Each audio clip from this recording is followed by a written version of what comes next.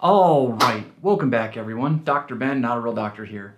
Let's talk about breathing, or more specifically, what I've learned about breathing over the past eight months of breath hold practice. So, back in April of 2022, I took a breath holding course with Erwan Le Corre, and I have experience with breath work and, you know, I've been an athlete my whole life, but I'd never really, really focused on breath hold practice. And I've learned so much about breathing and how it affects you emotionally, how it affects you physically, how it affects you mentally, and how how we spend so much time breathing and so little time even conscious of how we're breathing and what it does to us. So this has been a really, really amazing experience for me, and I just wanted to share some of the things that I've picked up. Like I said, I did take a breath holding course with Erwan Le Corre. I'll put a link to his, he now has an online course. This was a live course, uh, but he now has an online course that's available. Highly, highly recommend it. You're gonna learn so much about breathing uh, physiology and breath holding. If you're looking for a little lower entry point, I do have a practical breathwork course, which is not breath holding, but it's some of the foundational stuff that goes into breath holding. That online course is available on my website. It's in the description down below as well. So let's talk about breathing. Breathing seems really self-explanatory, right? You breathe in, you breathe out, oxygen goes into your blood, waste products come out, and you breathe all that out. But it's really a lot more complicated than that. Let's look at carbon dioxide first. Often considered just a waste product, but it's actually extremely important as part of cell respiration. As your carbon dioxide levels get higher, oxygen is transported into the cells more easily. As your carbon dioxide levels get lower, it gets harder and harder for your body to exchange gases. That's one of the reasons why if you do Wim Hof breathing, you're doing, you know, 30 to 40 breaths, you're breathing out, taking big inhales, you start to get dizzy and lightheaded. You're expelling all your carbon dioxide, and what you're experiencing is actually a shortage of oxygen within the cells because you don't have enough carbon dioxide for cells to take up oxygen. As your body goes through its normal metabolic processes, carbon dioxide levels build back up, and then that sort of dizzy feeling, that buzzing goes away because again, your cells are getting oxygen. Now we have a set point, our brain controls it. It's a set point of carbon dioxide that tells you you have too much carbon dioxide, you need to breathe. You can change this set point. So a lot of times if you're feeling out of breath, you're having a hard time catching your breath, it may not be actually that you're out of oxygen. There's a fun little device called uh, a pulse ox monitor. Hold that thought. So this handy little dude here is a pulse ox monitor.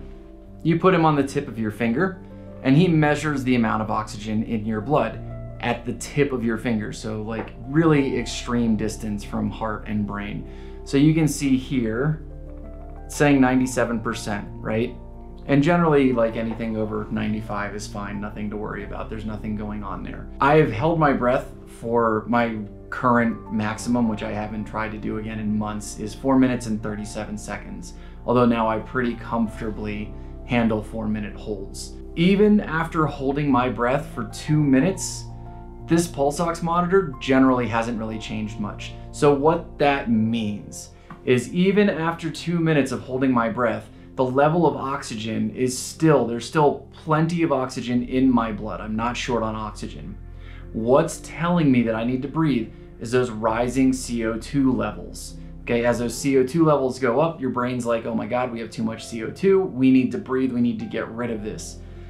You can change your set point. If you are feeling out of breath, if you are having a hard time breathing, if you're breathing 20 times a minute when it should be more like eight at the high end, um, you are probably breathing shallow regularly. Your brain has changed your CO2 set point to a lower threshold than what is healthy.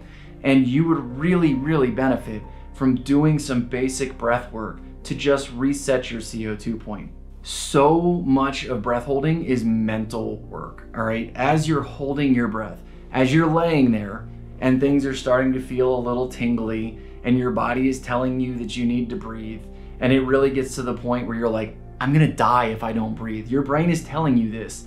And What you really, really learn from breath holding, and disclaimer, don't ever practice this crap in the water. I do this laying on my couch in my living room, sometimes with a blanket on, because it's, you know, like you can get chilly. Make yourself comfortable.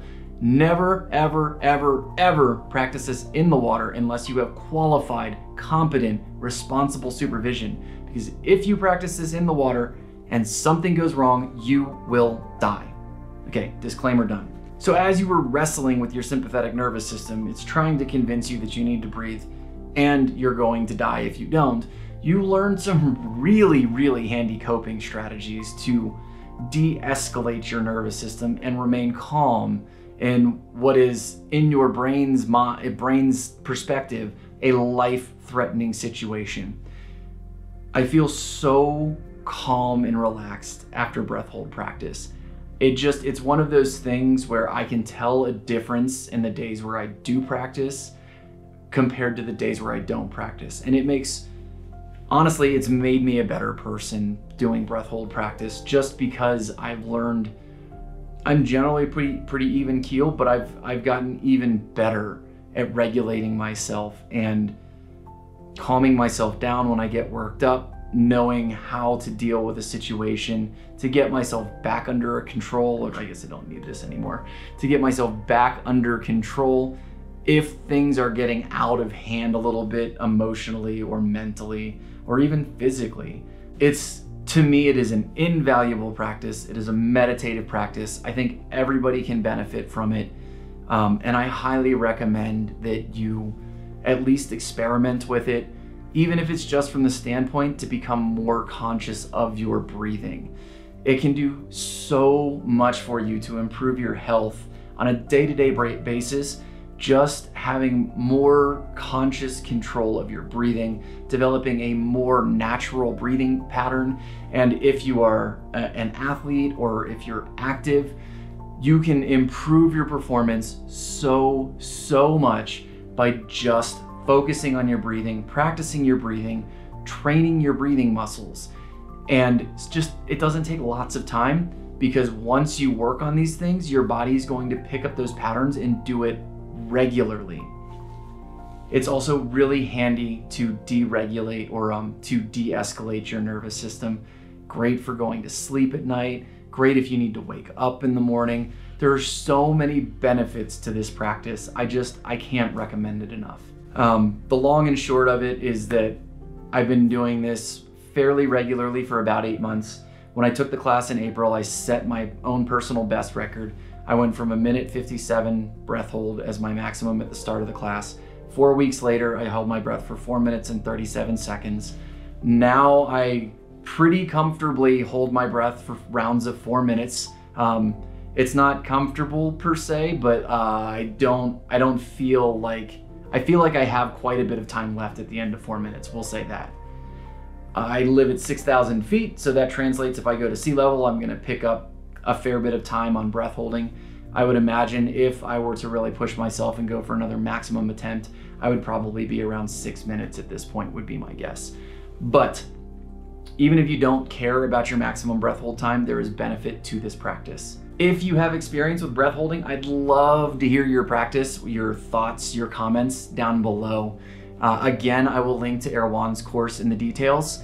And if you would like to do a little bit more cost, we'll say cost effective, we'll say a lower financial investment entry into some practical breath work, my course will be available down in the bottom details as well. Anyway, that's all I've got for you today. I appreciate you guys, each and every one of you. I hope you had a great Christmas or Hanukkah or whatever you celebrate. We're coming up on the new year, so happy new year. I hope everybody has a great time. I hope everyone is safe, and I will see you in the new year. If you like the video, smash that thumbs up. If you haven't already subscribed, please consider subscribing. And if you know someone who can benefit from this info, just share the video with them. Till next time, and until next year, keep your life in motion.